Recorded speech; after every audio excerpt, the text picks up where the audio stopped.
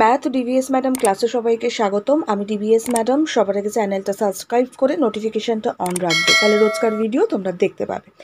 ভিডিওটা বেশির থেকে বেশি লাইক শেয়ার করো কমেন্টস করো যদি তোমাদের ইম্পর্টেন্ট দরকার থাকে, আমি আলোচনা করে থাকলে আমি দিয়ে দেবো। কেমন লাগছে ভিডিও অবশ্যই জানিও। আলোচনার বিষয়, আজকে আমরা শেখার সেতুর থেকে ইংরাজিটা একটু পড়ব ওকে শুরু করা যাক, ভিডিওটা অবশ্যই লাইক করে দিও।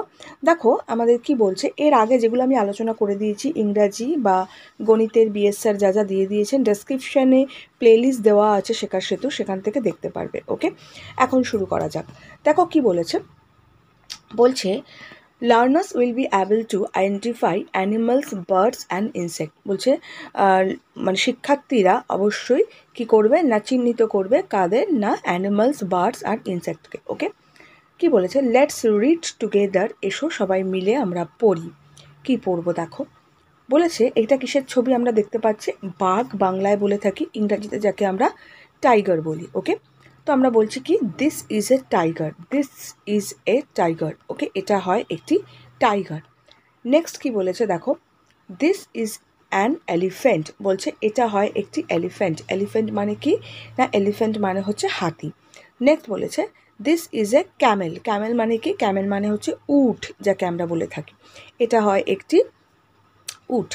এলিফেন্টের আগে কিন্তু অ্যান বসবে, কারণ অ্যান কেন বসল? কারণ অ্যানটা হচ্ছে এলিফেন্টের স্টার্টিংটা হচ্ছে ই দিয়ে ই হচ্ছে ভাওয়েল তাই অ্যান বসেছে ওকে নেক্সট কি বলেছে দেখো দিস ইজ এ ককরোচ এটা হয় একটি ককরোচ ককরোচ মানে কি? আরশোলা, যাকে আমরা বলে থাকি ওকে নেক্সট আমরা চলে যাব। নেক্সট আমাদের কি বলেছে? Let's see the picture and name them বলছে পিকচারগুলো দেখো এবং নামগুলোকে বলো। খুব সহজ যেগুলো দেখো, এটা আমরা দেখতে পাচ্ছি কি? একটা সিংহের ছবি। বাংলায় আমরা সিংহ বলে থাকি। ইংলিশে আমরা কি বলি? না, লায়ন বলি। নেক্সট দেখো, এটা আমরা একটা দেখতে পাচ্ছি, একটা বিয়ারের ছবি, অর্থাৎ ভল্লুক, যাকে আমরা বলি। ইংলিশে আমরা কি বলি?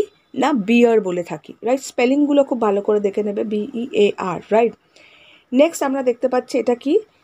জাস্ট আ সেকেন্ড এটা কি দেখতে পাচ্ছি? না, একটা প্রজাপতি দেখতে পাচ্ছি। প্রজাপতিকে ইংলিশে আমরা কি বলে থাকি? না, বাটারফ্লাই বলে থাকি, ওকে? আমরা বাটারফ্লাই বলি।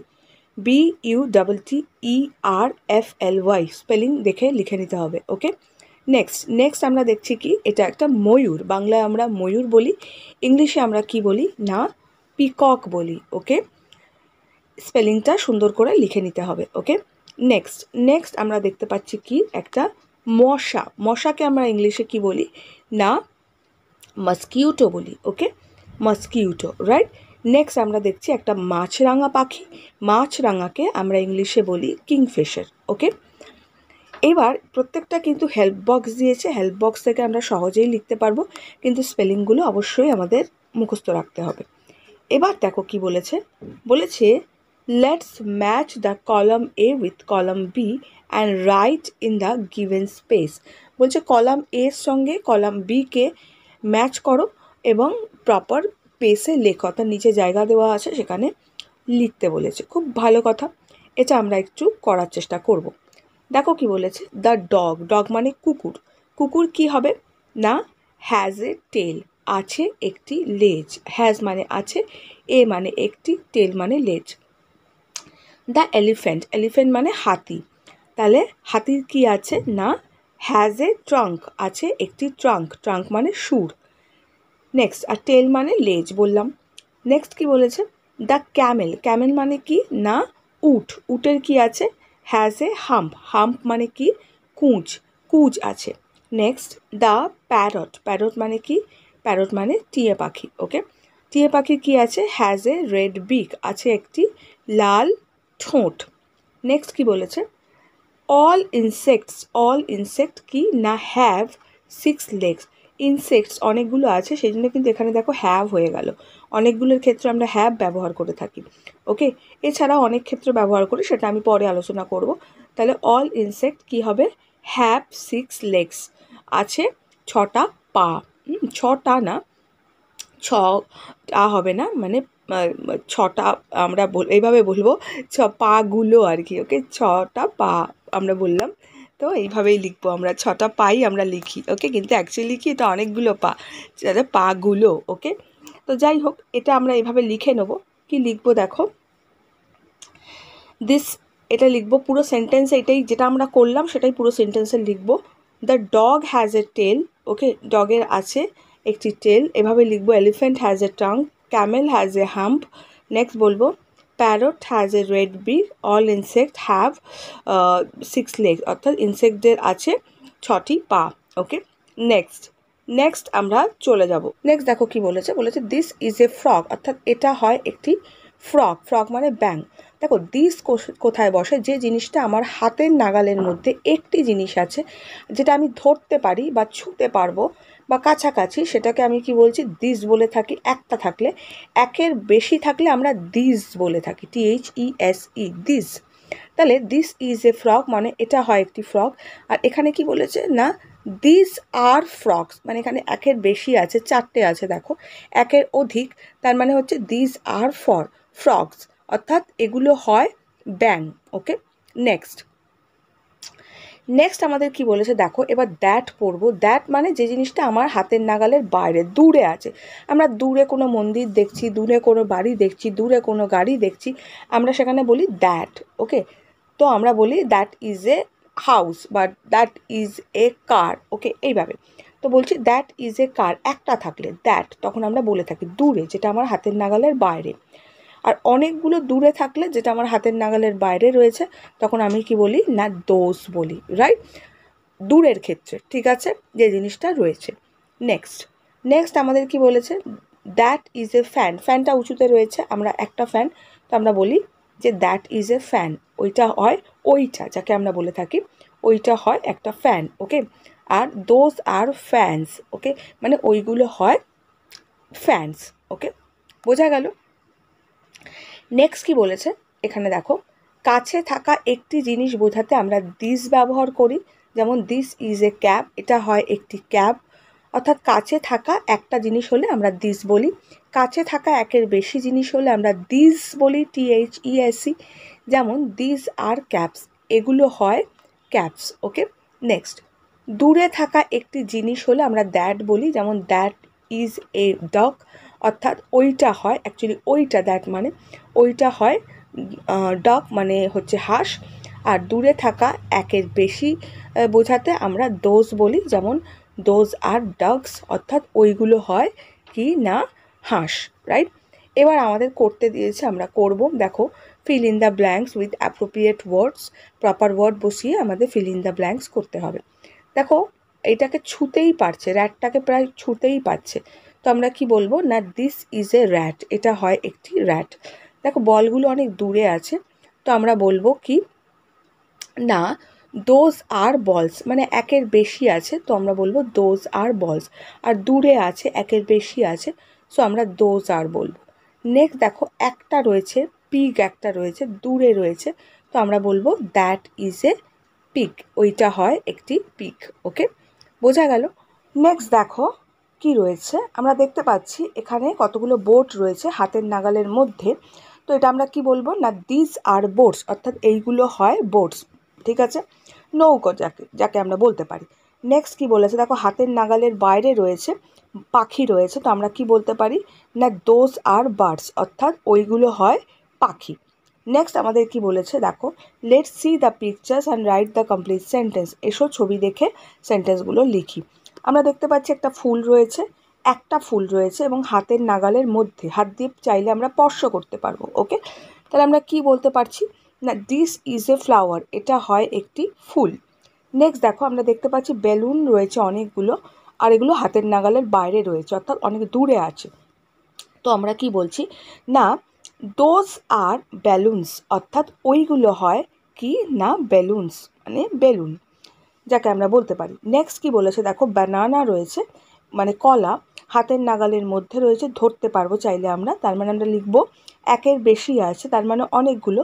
আমরা লিখব কি? These okay these are banana অর্থাৎ এগুলো হয় কি? না বানানাস ওকে মানে কলাগুলো আর কি ওকে নেক্সট দেখো, ফুল রয়েছে রোজ সেগুলো হাতের নাগালের বাইরে রয়েছে, অর্থাৎ দূরে আছে, আমরা লিখব কি, দোস আর রোজেস, অর্থাৎ ওইগুলো হয় ফুল। নেক্সট দেখো, আমরা দেখতে পাচ্ছি কুড়ে ঘর রয়েছে, হাট, যাকে আমরা বলতে পারি। তো আমরা কি বলতে পারি? হাতের নাগালের মধ্যে আমরা চাইলে হাত দিয়ে ছুতে পারব। তো আমরা কি বলব? যে দিস আর হার্টস অর্থাৎ এইগুলো হয় কুড়ে ঘর ওকে বোঝা গেল? দোজ দিস কি হয়? সেটা বুঝতে পেরেছ, আশা করি। নেক্সট আমাদের কি বলেছে? দেখো, বলছে সি অ্যান্ড সে দেখো এবং মানে সি মানে দেখি বা দেখো এবং বলো। নেক্সট বলছে, এটা আমরা কি দেখতে পাচ্ছি? না ব্যাগ ব্যাগ দেখতে পাচ্ছি। ব্যাগকে আমরা কি বলি? ইট ইট ইজ এ ব্যাগ অর্থাৎ এটা হয় একটি ব্যাগ নেক্সট আমরা ইনসেক্ট দেখতে পাচ্ছি বা একটা পিঁপড়ে দেখতে পাচ্ছি। আমরা বলতে পারি it is an and an কেন বলা হলো? কারণ এখানে এ রয়েছে এ হচ্ছে ভাওয়েল সেজন্য আমরা অ্যানকে ব্যবহার করলাম। তাহলে ইট ইজ অ্যান অ্যান এটা হয় একটি কি না পিঁপড়ে।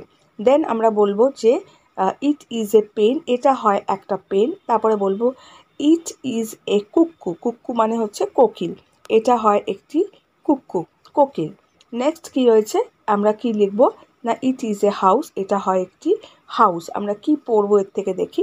বলছে in the above sentence we use it in the beginning to introduce a subject when the subject is a a now living things living things accept human being উপরের বাক্যগুলি আমরা সাবজেক্ট বোঝাতে ইট ব্যবহার করেছি। এদের ক্ষেত্রে প্রাণী নয় এমন। প্রাণী কিন্তু মানুষ নয় রাইট না? দেখো ইট কি ক্ষেত্রে বলতে চাইছে কি ব্যাপারটা বুঝবে? বলছে নন লিভিং থিংস আর লিভিং থিংস অ্যাকসেপ্ট কি? না হিউম্যান বিং অ্যাকসেপ্ট মানে হিউম্যান বিং ছাড়া। অর্থাৎ আমরা যে ওপরের বাক্যগুলোতে ইট ব্যবহার করেছি ইট কোন ক্ষেত্রে ব্যবহার করা যায়? না কোনো নন লিভিং থিংস অর্থাৎ কোনো জিনিস রাইট ধরো টেবিল চেয়ার বই, খাতা পেন পেন্সিল আলমারি, খাট ফ্রিজ যে কোনো যেটা প্রাণ নেই, সেটার ক্ষেত্রে আমরা ইট ব্যবহার করে থাকি রাইট আর এছাড়াও ইট কিসে ব্যবহার করি? না হিউম্যান বিং ছাড়া প্রাণ আছে যেসব প্রাণীদের ওকে অর্থাৎ ইনসেক্ট টাইগার অ্যানিম্যাল কোনো অ্যানিম্যালের ক্ষেত্রে, গাছের ক্ষেত্রে আমরা ইট ব্যবহার করে থাকি। হিউম্যান বিইংয়ের ক্ষেত্রে আমরা কিন্তু করি না। হিউম্যান বিইং মানে মানুষের ক্ষেত্রে আমরা করি না। সেক্ষেত্রে আমরা হি শিকে ব্যবহার করি ওকে বোঝা গেল ব্যাপারটা? তাহলে ইট কোথায় ব্যবহার হয়? ইট যেটার মধ্যে নন লিভিং থিংস বা যেই লিভিং থিংস এগুলোও হয় লিভিং থিংস মানুষ ছাড়া বাকিগুলোও হয় ওকে কি বলছে? এবার দেখো লেটস সি অ্যান্ড রাইট বলছে দেখো এবং লেখো ওকে দেখো, আমরা কি দেখতে পাচ্ছি এটা? এটা একটা ময়ূরের ছবি আমরা দেখতে পাচ্ছি। সো আমরা কি লিখব? ইট ইজ এ একটা আছে। এ কি না, এটা পিকক তাহলে আমরা লিখলাম it is a peacock okay next আমরা দেখতে পাচ্ছি চাবি। চাবিকে ইংলিশে কি বলে? আমরা কি লিখলাম? ইট ইজ এ কি এটা হয় কি মানে চাবি। নেক্সট দেখো, আমরা একটা অ্যাপেল দেখতে পাচ্ছি। আমরা কি লিখব? ইট ইজ অ্যান অ্যাপেল অ্যাপেলের আগে অ্যাপেল একটা vowel A E I O U এর মধ্যে এ যে লেটারটা পড়ছে সেই জন্য আমরা অ্যান লিখলাম। তাহলে ইট ইজ অ্যান অ্যাপেল এটা হয় একটি অ্যাপেল নেক্সট দেখো, লিখব ইট ইজ এ হেন এটা হয় একটি হেন হেন মানে মুরগি। নেক্সট দেখো, লিখব ইট ইজ এ ডল অর্থাৎ এটা হয় একটি ডল ডল মানে পুতুল। ওকে বোঝা গেল? নেক্সট আমরা কি বলব? দেখো, বলেছে লেটস রিড এসো পড়ি। কি পড়ব? দেখো there is a book on the table বলছে বইগুলো কিসে না, টেবিলের ওপর রয়েছে। There are two elephant in the forest ফরেস্টে কি রয়েছে? দুটো এলিফেন্ট রয়েছে। কি বলছে? There are boats in the river river দেয়ার কি রয়েছে? না বোটস ইন দ্য রিভার অর্থাৎ রিভারের মধ্যে বোটস বোটস আছে মানে অনেকগুলো বোটস দেয়ার আর বলেছে। বোটস ওকে অনেকগুলো বোটস রয়েছে, ঠিক আছে? বোঝা গেল? এবার আমরা কি দেখব?